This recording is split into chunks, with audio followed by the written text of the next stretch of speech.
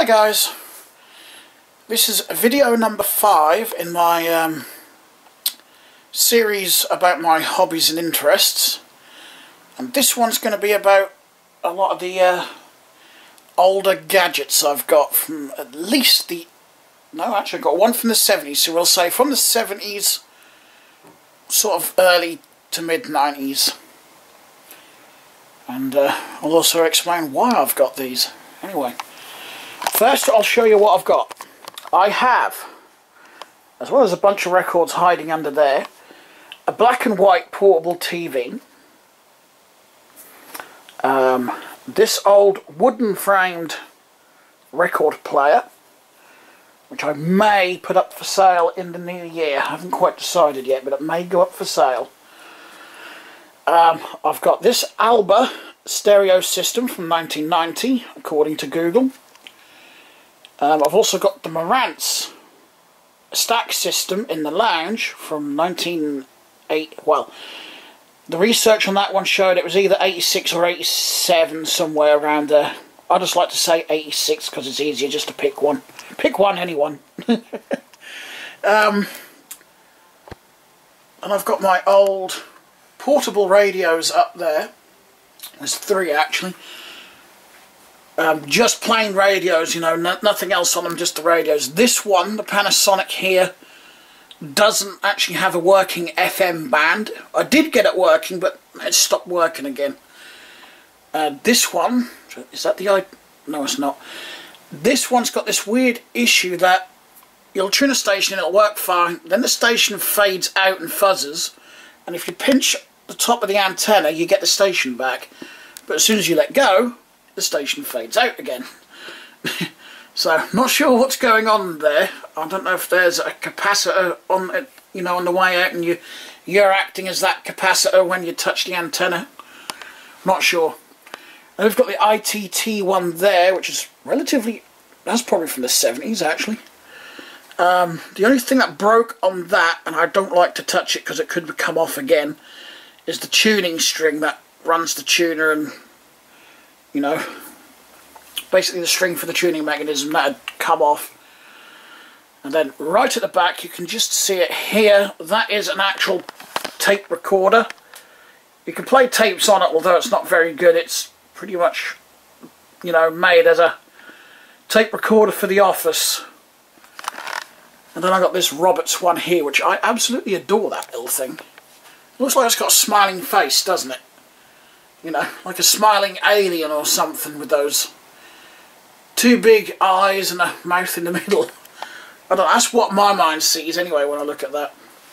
But it works really, really well. I bought that as a, in a... Uh, sorry, I got my tongue in a twist there. I bought that in a job lot of radios. I think that was one of three, and that works absolutely fine.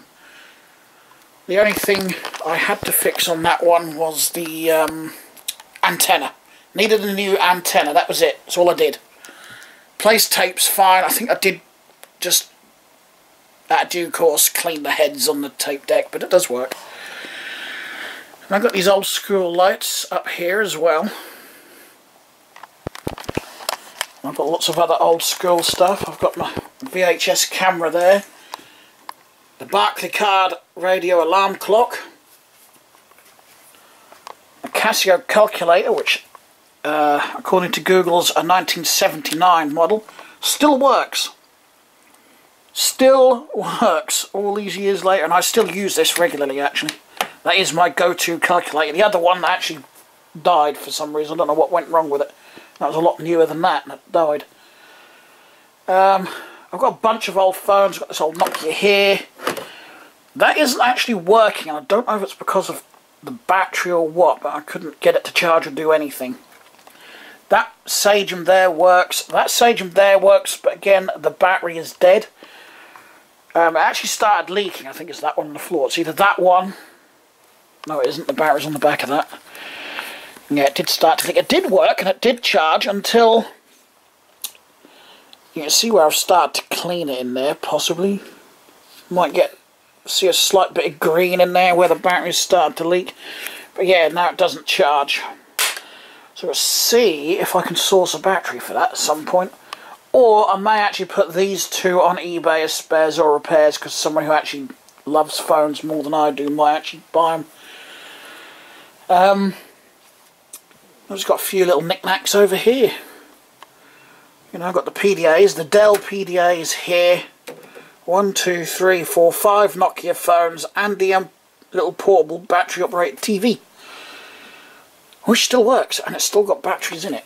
I forgot I'd left them in there. See? The only thing is it won't work on analog because it doesn't exist anymore, but it does have an AV socket on the side. And it does work. I have used it. Just to see if it would work, so theoretically it's still usable because you can still connect it to a digital device. Um, but practically, not really. Um, this is the newest Nokia phone I've got and it's still holding charge. See? I like my Nokia phones. I always have been a Nokia fan. And uh, all of these work. I've got the docking stations to charge these. I think I used a lead to charge that one.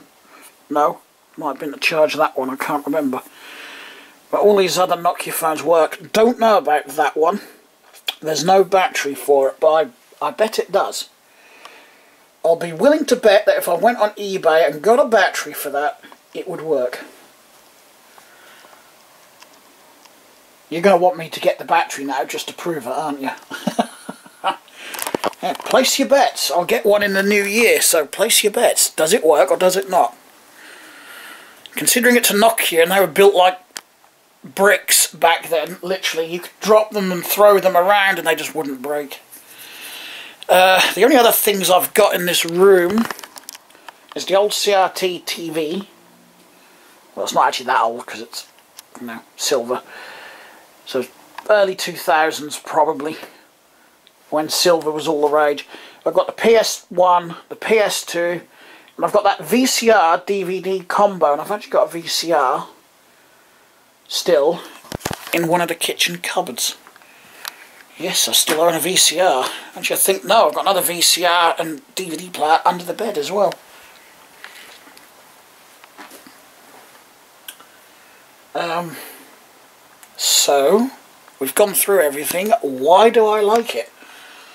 Same reason as the computers, really. It's just old technology. I do like the, the, the um, design of some of these radios. And, well, aside from, you know, the usual dirty controls over the time where you just put a bit of contact cleaner, or even WD-40. I found WD-40 is actually good at cleaning contacts. Probably not as good as the actual contact cleaner, but it works well enough for me, so that's what I've been using. But yeah, these are really indestructible, these old radios.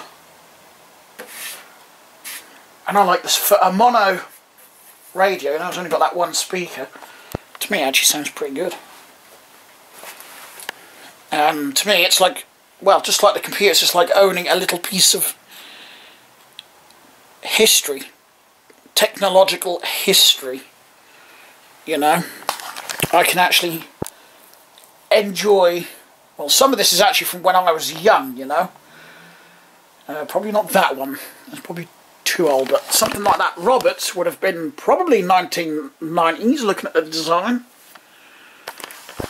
So, uh, the Alba here is 1990 and everything works absolutely flawlessly on this, or it did the last time I turned it on. Famous last words, but yeah. The twin tape decks worked, the radio works, the graphic equalizer works. Um, the record player plays records. so, I'm happy. I just, I also like to go back and listen to the records and the tapes. And, uh, most this actually start the radio started from watching someone on YouTube called Techmoan who actually said or actually did a video on cassette tapes and um, he said on that video that uh, we all remember tape audio cassettes sounding bad and he said the reason for that was that most of us only used the cheap sort of budget radio cassette players, you know. The ones that you could probably pick up for like 20 to 50 quid. and, uh, you know, I've got some brands here, and I have to say, even today, some of these you probably wouldn't be able to tell it's a tape playing. Know, not unless you sat there and really listened hard.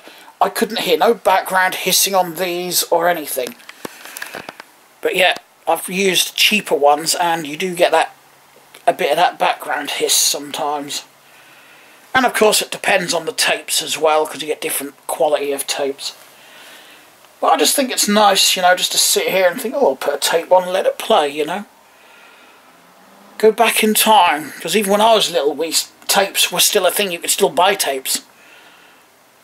Right up, and actually, I'm not sure when they stopped making tapes. I know when I was in high school, even when I left high school, you could still buy them.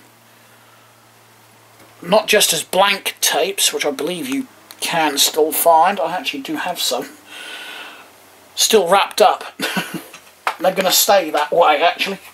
Same with some VHS tapes I've got. I've got a box of blank ones. VHS tapes. They're staying wrapped up as well. And sealed. The Awards, 1990. But yeah, I don't know. I just like being nostalgic. I guess, you know. And, uh, and modern stuff, you know, we're used to we used to using all the MP3 players and listening to music through my PC. You know, something I do every day.